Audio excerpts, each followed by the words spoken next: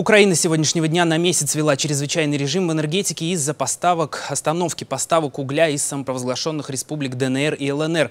Теперь компания-монополист Укрэнерго может применить график почасового или аварийного отключения электроэнергии.